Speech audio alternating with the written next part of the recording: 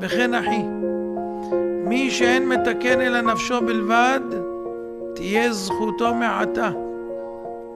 ומי שמתקן נפשו ונפשות רבות, תכפל זכותו כפי זכויות כל מה שיתקן אלוקים. שנאמר כל המזכה את הרבים, אין חטא בא על ידו. ואמרו, משה זכה וזיכה את הרבים, זכות הרבים תלויה בו. כל מה שיש לישראל זה בזכות משה רבנו. אז כל זכות הרבים תלויה בו. שנאמר צדקת השם עשה ומשפטיו עם ישראל.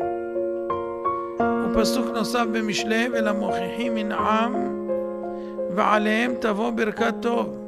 מי שמוכיח תבוא עליו ברכתו של הקדוש ברוך הוא. ונאמר על אהרון הכהן תורת אמת הייתה בפיהו ורבים השיב מעוון. ומצדיקי הרבים ככוכבים לעולם ועד, אומר דניאל. ועל כן ציווה הבורא להוכיח את המקצרים, אלה שמקצרים בעבודת השם. ונשאלת השאלה אצל חכמים, עד היכן היא תוכחה? עד היכן אתם מחויבים להוכיח את חבריכם? רב אמר עד קללה, שמואל אמר עד הכאה, שנאמר מוכיח אדם אחריי, חן ימצא. זאת אומרת, אם אתה מוכיח מישהו והוא מקלל אותך,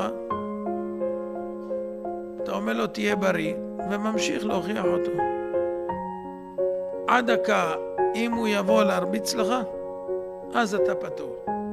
אתה אומר לו, עוד פעם, תהיה בריא, ביי ביי. אבל נזיפה וקללה, אתה ממשיך. עד דקה. זה החובה של תוכחה. אז זאת אומרת, זו מצווה גדולה מאוד מאוד מאוד להחזיר יהודי בתשובה.